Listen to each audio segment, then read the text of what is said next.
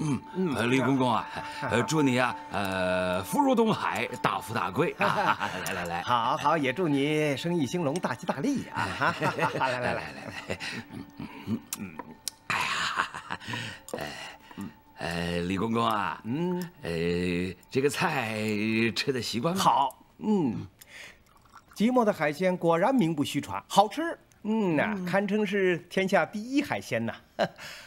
皇上的御膳房都不曾做出这种好菜来。嗯，哎，不敢当。那这个皇上的御膳房那才是天下第一啊！我们只是这个靠海吃海，哎哎，这个所以呢，这叫呃一郡遮百丑啊。嗯，好，嗯的，好一个一郡遮百丑啊，妥帖妥帖呀。哎，这次花魁大赛。嗯，凤仙姑娘能够入选，可是可喜可贺呀！啊，嗯嗯嗯，哎，这个支掌柜的，嗯，你能够养出这样的姑娘，嗯嗯，是不是跟你喝了人奶有关系？人奶？不不不不不，嗯，我这人没什么文化，还不懂你说的是什么意思。嗯，我听说你有延年益寿的秘方，人奶加中药。哦，我跟你讲啊，这个秘方要是献给皇上，那你可就中了大彩，头彩啊！凤仙姑娘入宫，那不就是一马平川了吗？啊，不不不，这我可不敢啊！呃，这个是那个民间秘方，老百姓是还可以。呃。给皇上吃就不行了，呃，皇上是真龙天子啊，啊，要是他吃出了什么差错怎么办呢？呃，我脑袋搬家是小事，呃，一旦这个伤害了这个龙体啊，那可是了不得的大事喽。呃，你不要听他们那个瞎说瞎传呐啊。嗯，有道理，有道理啊。哎，还有那个红烧蜜汁鸡头呢？嗯嗯嗯，说什么当官的吃了是忠臣。啊，老百姓吃了是良民，嗯，这可不是瞎传吧？哎，我说，嗯，你这个歪歪咧咧的招数还不少啊，嗯，呃，那那个是是是这样啊，那个其实其实啊，呃。鸡头是真，呃，但是呃，是是是什么良民忠臣的，那就是玩笑而已了。哎呀，耳听为虚，眼见为实。呃，把那个红烧蜜汁鸡头让咱家见识见识。嗯，管家。那个那个红烧蜜汁鸡头做做好了没有啊？呃，怎么还不端上来啊？啊，来了！红烧蜜汁鸡头，哎，慢用。哎呀，好菜好菜，雄鸡一唱天下白呀！好，好，来来来，尝尝尝尝，你尝尝头。月儿姑娘，你仔细想想，就是杨捕头送来那盆花之后，何六来过吗？没来过呀。呃。呃，第二天，第二天你参赛之前见过何六吗？没有。呃，杨捕头，哎，你去何六家拿花的时候，何六在吗？不在，只有秀秀一人。哎，我说大人，你们到底要查什么呀？这跟打哑谜似的，你让我怎么配合你们？哎呀，鱼儿姑娘，跟你说句实话吧。有人在这个耐冬花里边放了一颗花椒，花椒啊，就让这个耐冬花啊，就和吃了迷魂药一样，一点精神没有。花椒有那么厉害吗？花椒？什么花椒啊？做菜用的花椒。啊，别急别急，让我想想啊。前两，哦，姐，那个山猫头两天牙疼，跟我要过花椒。山猫？谁是山猫？就是就是我们家一亲戚，一个老人。大人，上回我来的时候，好像见过这么一个人。小蘑菇，你没看见老娘牙疼啊？给我拿两粒花椒。吃鸡吃多了，上火了吧？怎么跟老人说话呢？快去给大娘拿花椒。你快点走走走，上厨房。赶紧。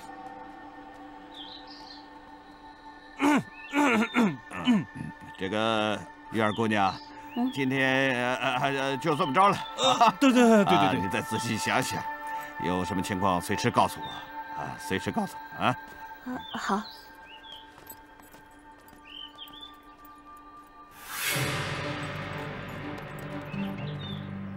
放花椒能是他？一个老太婆？她倒是有作案条件，她有花椒啊！而且他还知道当晚那花是放在院中的，他还有时间接触着那朵花。可是你说一个土埋半截的老太婆，她没作案动机。哦，她是他们家亲戚，她为什么要陷害玉儿的花呢？我思考一下。嗯我也思考一下。哎，蘑菇，啊，家里没面了，你去买点儿。哦，知道了。怎么这么能吃？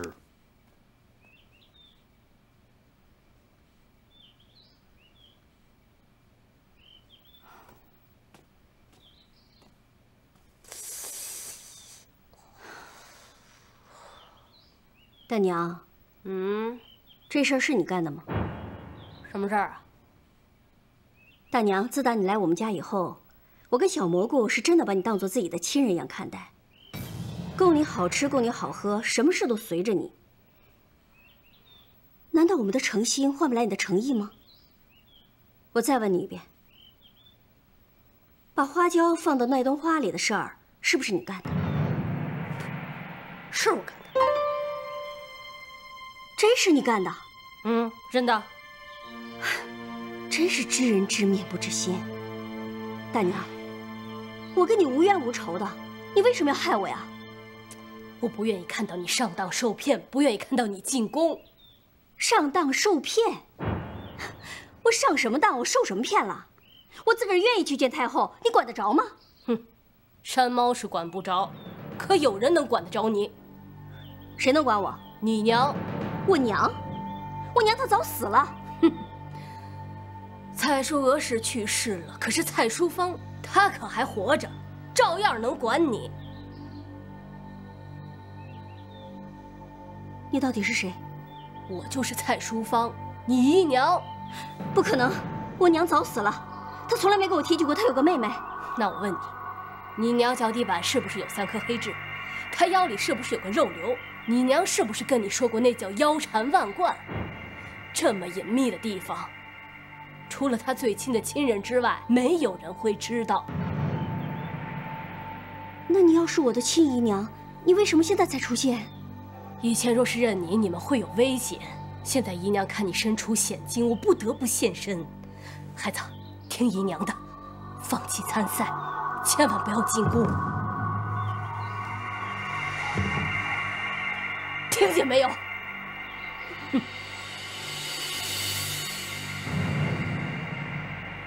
李公公，我来敬你一杯，谢谢你给我女儿这么好的一个机会，进京城，进大清朝的皇宫，去拜见真正的大清皇帝陛下。好好，那也是因为你生了一个好女儿吗？嗯，李公公，请吃鸡头。啊，好好好好好。哎呀，嗯嗯，只可惜咱家后天就要离开即墨了，再也吃不到这样好的秘制鸡头了哦。哎，李公公放心，到时候啊，我会做很多的鸡头给公公在路上吃，哎，保证你吃饱饱的。哦，好，饱饱的。那咱家就谢谢了。好说。是的，我觉得这个秘制鸡头里面蕴藏着巨大的商机呀。呃，此话怎讲啊？那的话，大赛结束后，我们的女儿就要进京，不如我们也跟着他们进京城，不要在即墨地界小打小闹了，到京城开一家像样的蜜汁鸡头酒楼。到那个时候，李公公不就可以来我们这里吃蜜汁鸡头了吗？嗯，别别别别别别啊！啊，我不敢。天子脚下，搞好了没事搞不好人头落地了。嗯，别来这个。有李公公在京城，我们还怕什么呢？是吗，林公公？说不定咱家还要指望你女儿提携呢。呃，李公公，呃，何出此言呢？哈哈，好了，时候不早了。武知县呢还在县衙等我，咱们杯中酒啊，来，干了，来，请，来。我就纳了闷了，李公公为什么非让玉儿名列三甲进京呢？是，你说为此还不惜跟华灵道长闹翻？回去好好问问。好好问问。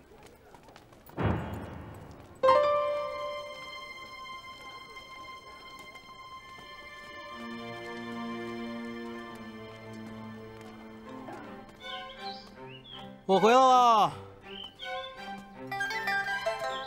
蘑菇，你看见咱姨娘了吗？什么姨娘？就是山猫啊。山猫？山山猫是咱姨娘？哎呀，是真的，她真的是咱姨娘，是咱娘的亲妹子。姐，你别让她骗了，反正我不信。哪有自己亲姨娘不管自己外甥外甥女死活的，把自己家下蛋的鸡吃了，又偷别人的吃？哎呀，她是想看看咱俩对老人有没有善心。那她早干嘛去了？姨娘说我们现在身处险境，她才会现身的。哦，对了，她还说了咱娘身上的两处记号，一般人哪知道的那么详细啊？咱娘身上的记号，她也知道。嗯，这，她真是姨娘？哎呀，是真的。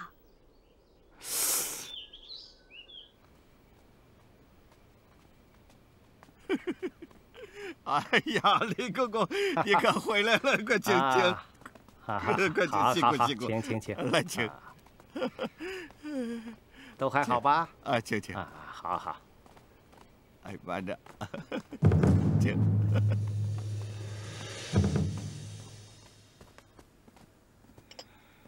啊，你请，请。哎呀，呃，公公，嗯，有件事一直困扰着下官啊，不知能否问问公公？但讲无妨啊。这个公公为何着力要保玉儿姑娘？吴大人，你没在宫中待过，你不知道宫中的那些个娘娘、嫔妃、贵人、答应，他们那个脸蛋儿呢，全是用粉黛啊跟胭脂给堆起来的，没有一点新鲜感跟真实感，全是假的。你呀，再瞧瞧那玉儿。清秀朴实无华，那才是美丽漂亮，真乃天生的尤物啊！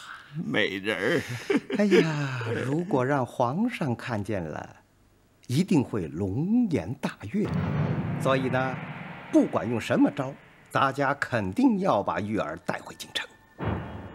为以防万一，我想先把玉儿控制起来，控制起来，秘密抓捕。秘密抓捕，嗯，你呢？给我找几个可靠的衙役，趁无月之夜，神不知鬼不觉的把玉儿给我抓起来，关进大牢，等待随咱家一起进京。呃，呃，公公，呃，下官认为你对玉儿的处置方法略微有点不妥。嗯，呃。暂且不说无凭无据随便抓老百姓，违背大清律法。再者说了，真要把玉儿抓起来，他的弟弟小蘑菇，还有那个蒲书林，肯定会大造舆论，四处寻找。尤其是华灵道长，他跟太后的关系非同一般。如果他找咱们要人，咱怎么回答呀？我告诉你啊。华灵道长那只是个虚职，他敢跟皇上叫板？那他不敢。呃，但是你不了解他的脾气秉性，这个人就认准的理儿，他九头牛也拉不回来。哦，华灵道长还有这驴脾气呀？哎，公公，为了不惹麻烦，我倒有一个两全其美的办法。嗯，坐下说吧。谢公公。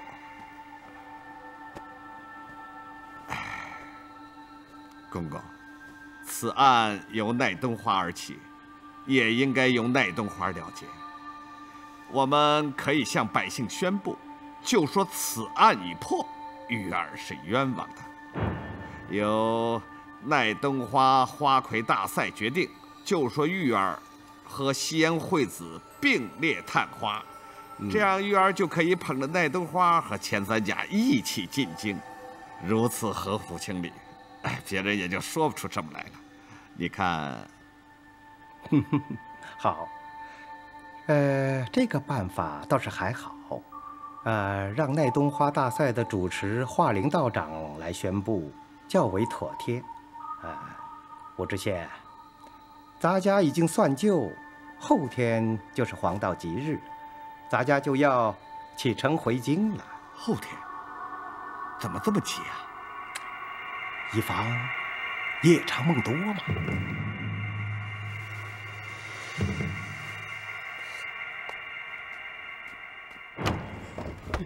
哎，姨娘，你回来了？你去哪儿了？我找了你好半天呢。我出去透气去了。透什么气啊？反倒生了一肚子气。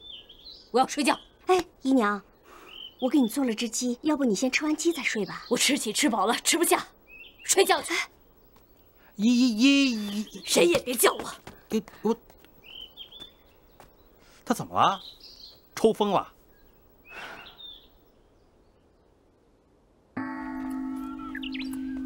哎，花道长，花道长，杨部长，哎，有事有事了。呃，那个武知县让我给你带个公文。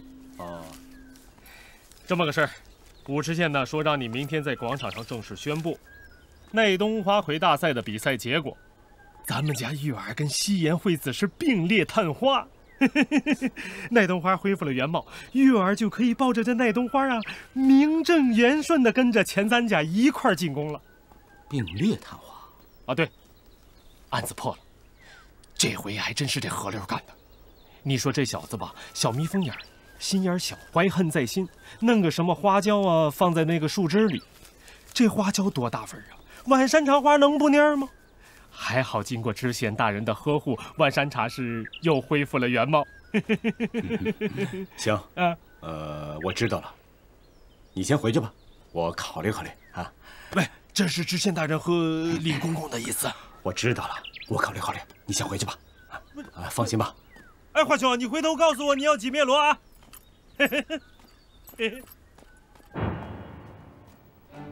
友善，哎，正找你呢。来来来来，先别去学堂了。怎么了？我跟你说啊，最新的情况，李公公后天就要带着花魁大赛前三甲进京了。好事儿？什么好事儿？情况有所变化。吴知县昨天已经破获了晚山茶花的这个案子，何六已经被逮起来了。所以现在呢，我们的玉儿已经平反昭雪，进入前三甲了。这不麻烦了吗？县衙来人了，来通知我，要鸣锣开道，让我在太清宫门口宣读告示。我给推了。完了完了完了！这下玉儿进京这事儿是躲不过去了。道长，怎么办呀？我有办法。你呀，明儿个呀，就和玉儿拜堂成亲。明儿个就跟他成亲啊？对呀。我想了半天，左思右想，前想后想，这是唯一的一个办法可以解这个套。要不然，哎，有山，你只能眼睁睁地看着李公公把玉儿带走了。我是愿意啊，可是这什么都没准备呢，还得找个人去提亲呢。提亲媒人，我都跟你想好了。谁啊？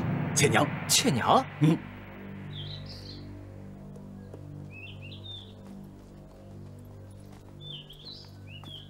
哟，哎哎，姐姐，快快快快，县太爷来了。呀，燕儿姑娘，恭喜恭喜啊！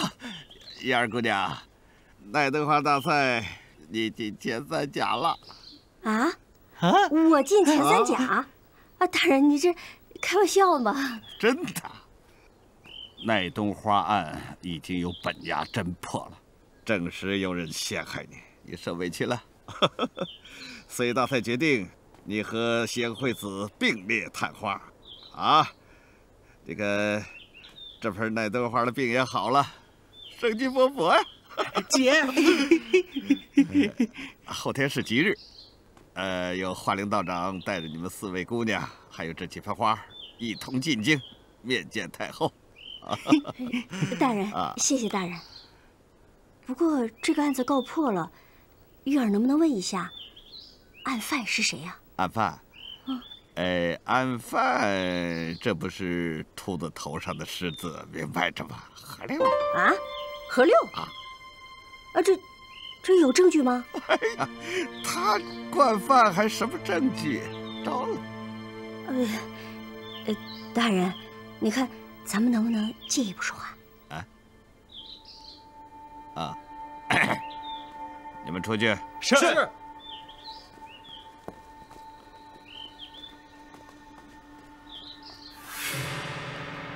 有话请讲。大人，这何六。是不是屈打成招的？你这话什么意思啊？这案犯不是他，是另有其人。谁？这我就不能告诉你了。那个人也是为了我好，迫不得已才这么做的。大人，玉儿想求求你，能不能不要再追查此事了？就找个机会把何六放了吧，一切相安无事了。呃，呃，呃，既然你这原告撤诉，那本官就不追究何六了啊。呃，不过你得好好准备准备啊，后天出发了，这本画要看好，别再出差错。啊，我知道，是，谢谢大人。我走了。哎，那我送送你。哎，不用不用你送，看好画。大人慢走啊。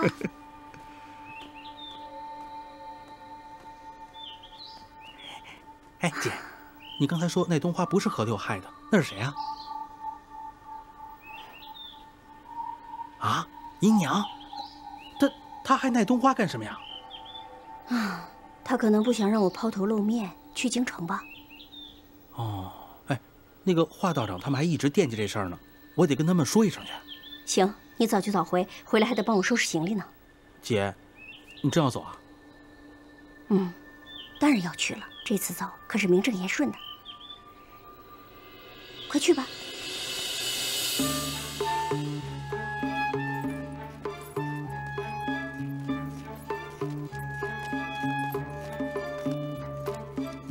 停轿！大人，是倩娘道姑。哟，倩娘，武大人 啊，你这是干什么去啊？哦，玉儿不是进了前三甲吗？我去恭喜恭喜她。啊，应该的，应该的。呃，你们家道长忙什么呢？哦，道长啊，这不是马上要进宫见太后了吗？总不能空着手去吧？他现在忙着备礼呢。是，是是，提醒我了，我也回去备一份，孝敬太后嘛。麻烦道长给我带进宫去。啊，行行行。啊，你先请。呃，谢谢大人。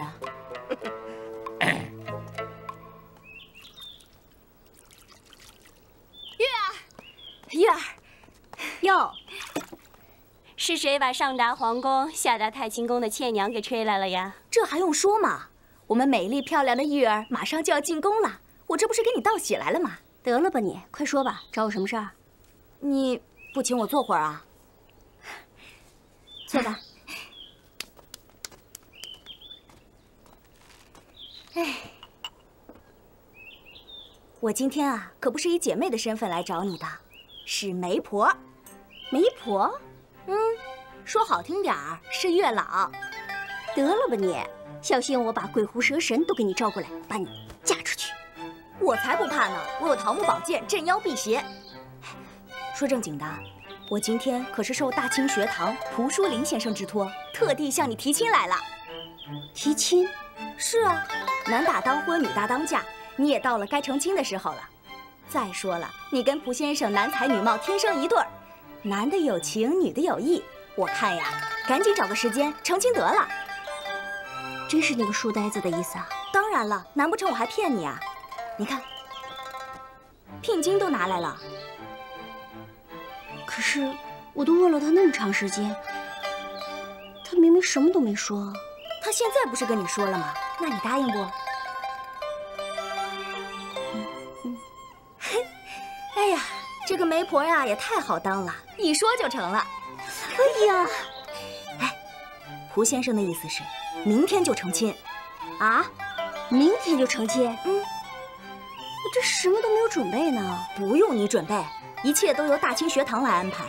那个凤冠霞帔是现成的，就用你姐慧君和华南轩成亲那套，花轿、吹鼓手都有。今天晚上我就把新娘要用的东西全部给你拿过来，让你风风光光的出嫁，怎么样？欢喜吧？我欢喜是欢喜，不过就是来的太突然了，有点欢喜不起来。啊？哎呀呀，不行！武知县刚才来过，说让我后天带着花一块要进京向太后谢恩呢。谢恩是谢恩，成亲是成亲，那是两码事儿。再说了，你们送花进宫，有我和道长陪着你们去呢。不是，是参加花魁大赛里面有一条，女子必须是未嫁的。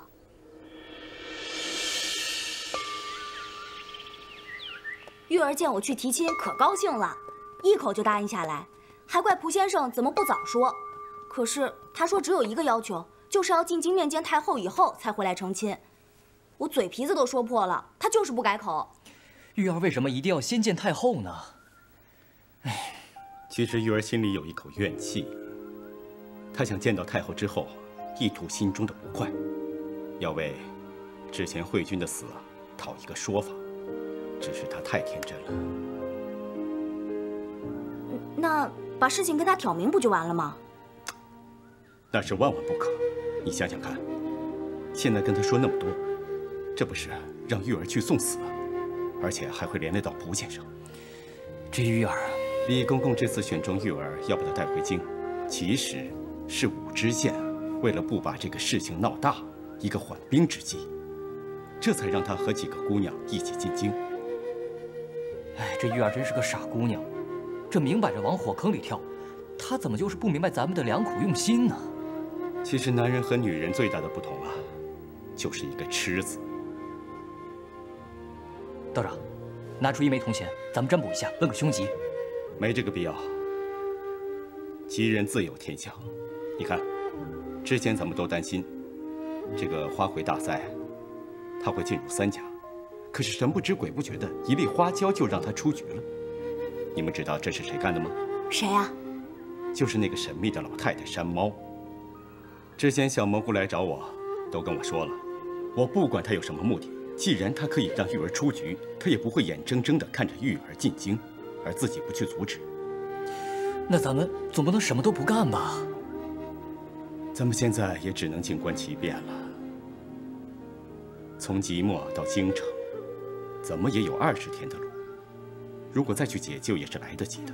亲娘，你一定要盯着他，密切注意他的动向，不能够让他再有意外了。嗯。道长，蒲游山先谢过了。哎呀，谢什么呀？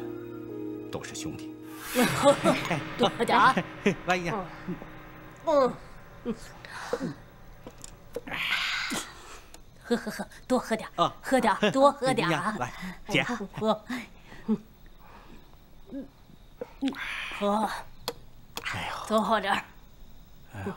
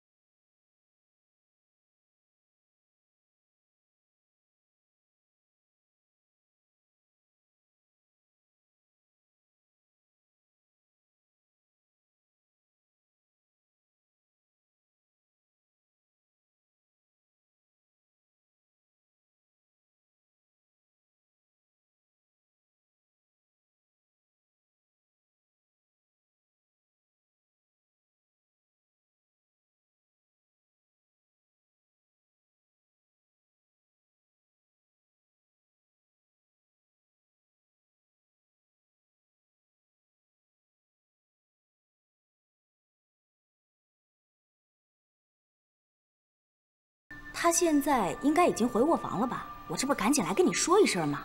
嗯，没想到这个山毛做事还挺绝。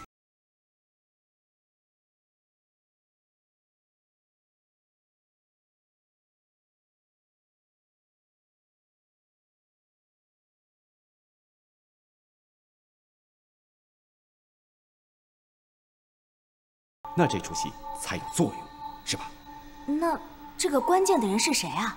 当然是李公公了。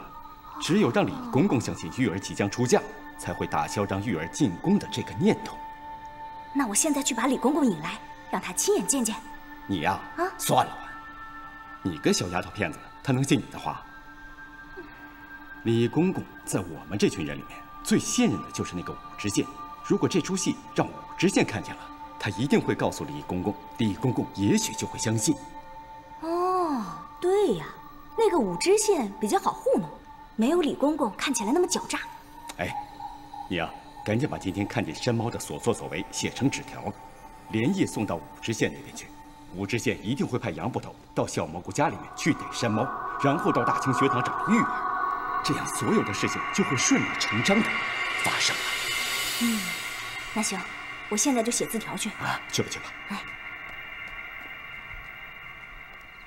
道长，道长，刘山，还没休息啊？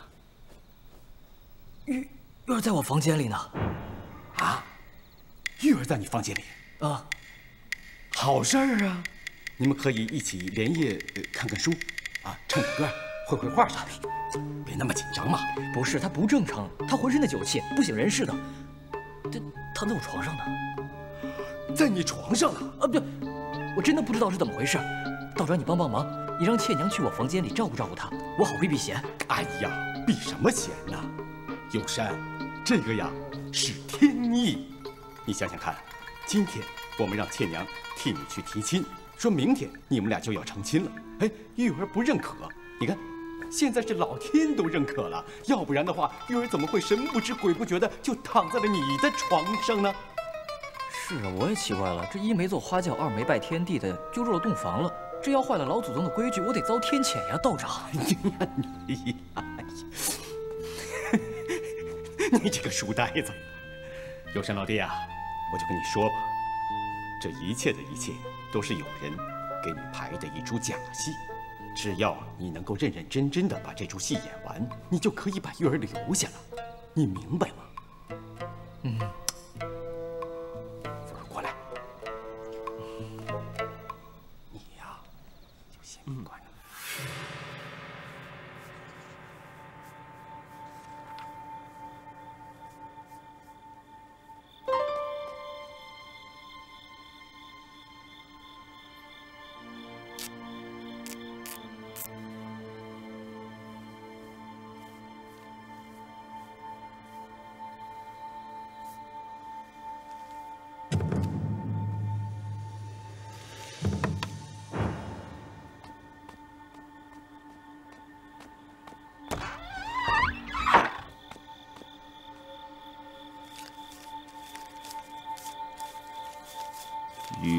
被山猫劫持，不知去向，望大人速去小蘑菇家查找。杨捕头，杨捕头，大人，你看，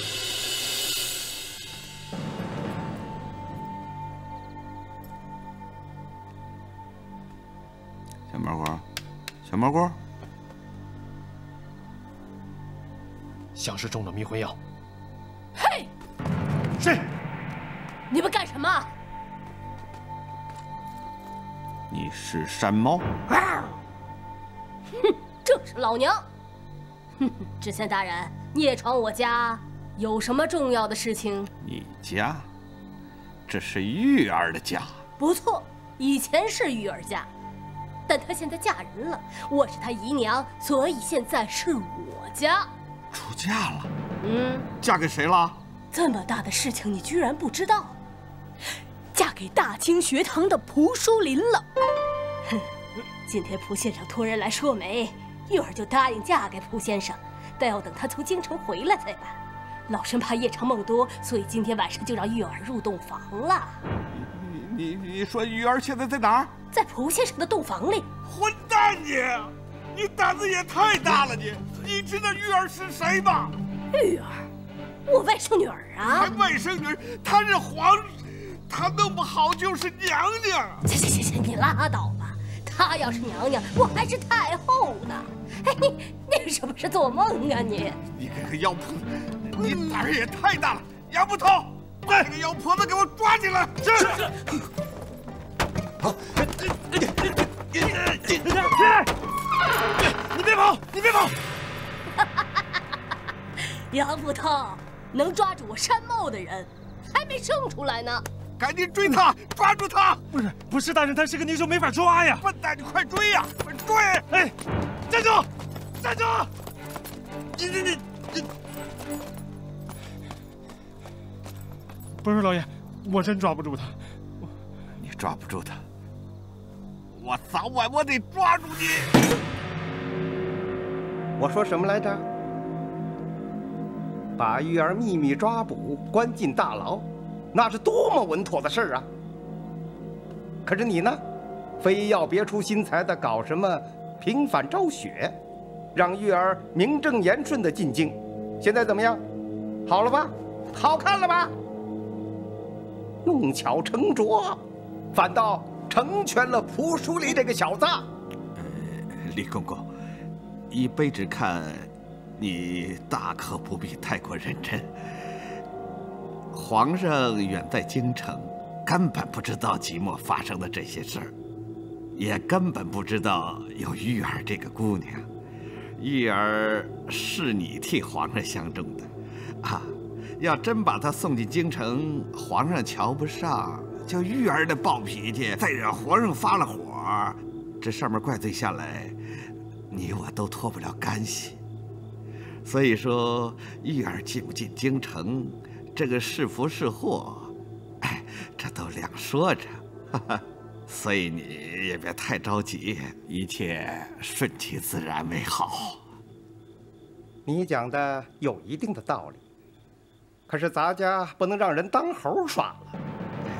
好赖我也是宫中见多识广的人呢。是是是，我告诉你啊，要是咱家真发现有人把我当猴耍了，可别怪我心狠手辣。是，你谁敢惹你？蒲书林早不提亲，晚不提亲，玉儿要进京了，他来提亲呢。还有，谁给你报的信儿？他为什么给你报信儿？而且报信儿这么准确？这个送信儿的人是谁呢？哎，卑职愚钝的很，我真猜不着。贼喊捉贼呀！你的意思是，山猫？就是他。谁最希望把玉儿成亲的这件事儿声张出去啊？当然是始作俑者啦。如果你武知县知道了这件事儿，他的计划就可以大功告成了。哎呀，公公高明啊！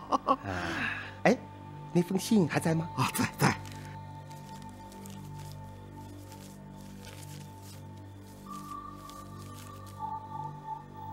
蒲书林和华道长的笔记，你可熟悉？呃，我熟熟。